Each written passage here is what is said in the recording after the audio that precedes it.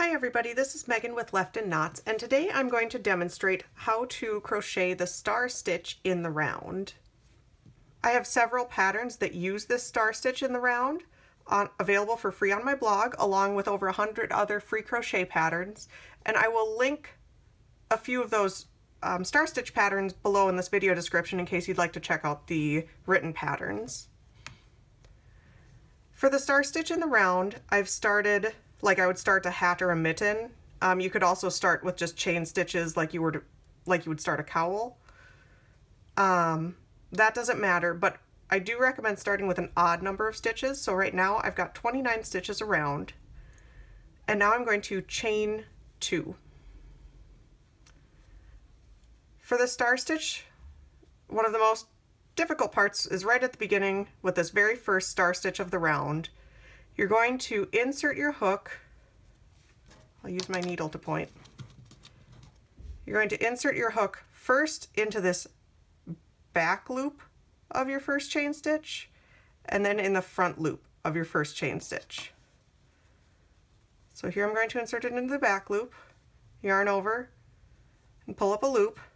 Now I'm going to go back into this front loop of that same chain stitch this is the second chain stitch from your hook.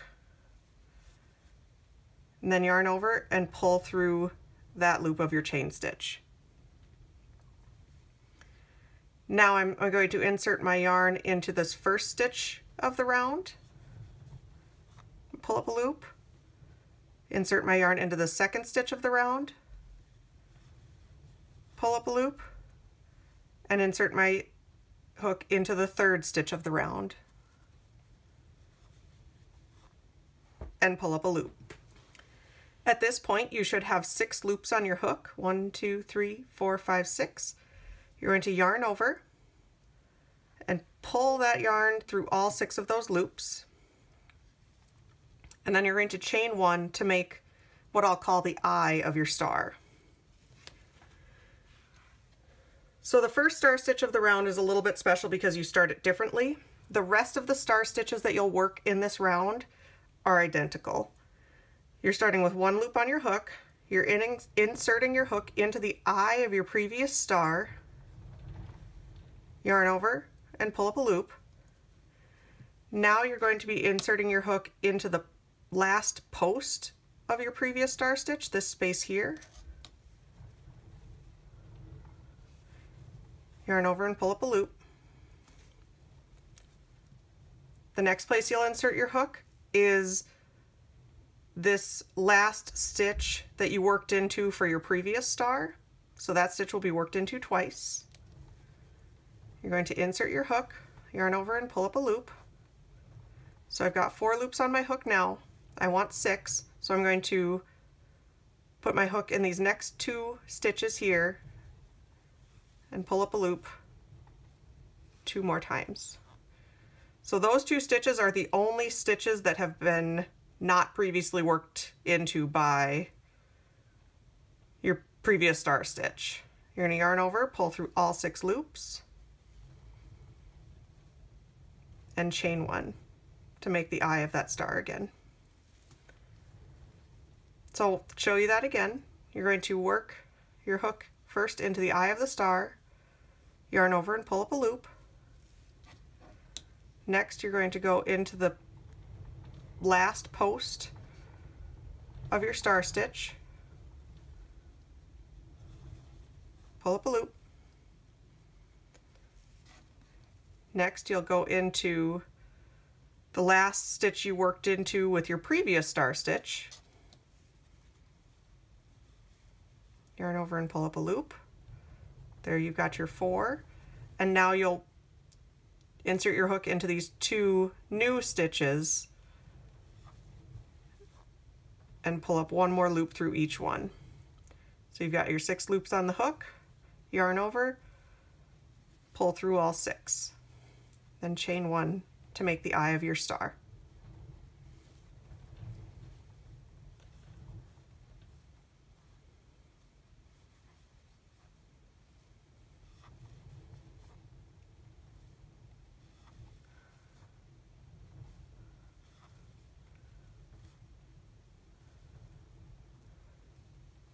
Pull through all six, make the eye of your star.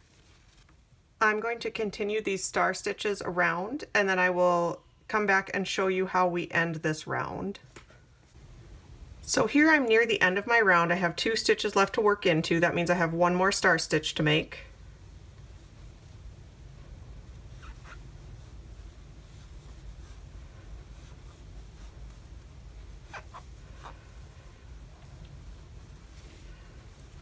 I'm still going to finish with that chain one to make the eye of the star. And now in this last stitch, I'm also going to work a half double crochet into that last stitch that was already worked into by my previous star. So here you can see is where the star stitch went through that stitch. And then I also half double crocheted into that stitch. Now I'm going to slip stitch to join. I like to slip stitch right into the top stitch of my first star stitch of the round. So right here I'm going to slip stitch to join.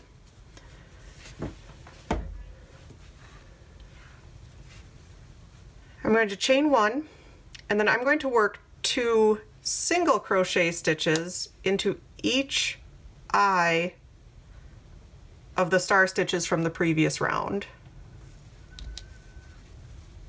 So I'm going to insert my hook one single crochet, two single crochet. You're going to work those into each eye of the star from the previous of the stars from the previous round. And you can see I flipped my piece so that I'm showing you the right side of the stitch. So this is the right side of the stitch and you can see that those single crochets just kind of finish out that star shape.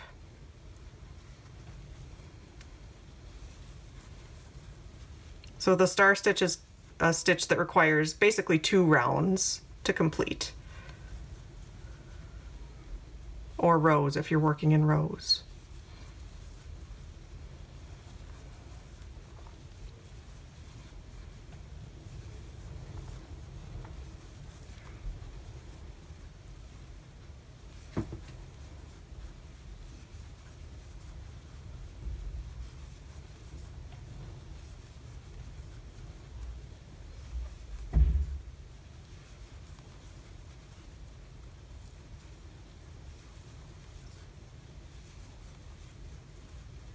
All right, so this is the last star stitch here. So I'm gonna work two single crochet into that star stitch.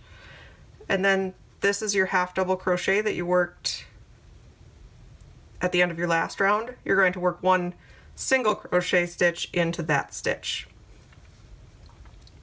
And then that will keep your stitch count at 29 stitches like we started when we started these star stitches. I'm going to join to that first single crochet of the round with a slip stitch, pull tight. And now you can do whatever you want. If you're working a few rows of just basic stitching in between star stitches, you can do that. Or you can go right into another round of star stitches. But that is how you star stitch in the round. Again, I have several free patterns available on my blog using this stitch. You can find them all at www.leftinknots.com and I will link some of them in the video description below. I hope you have enjoyed this video tutorial and I hope you enjoy my other free patterns and video tutorials as well.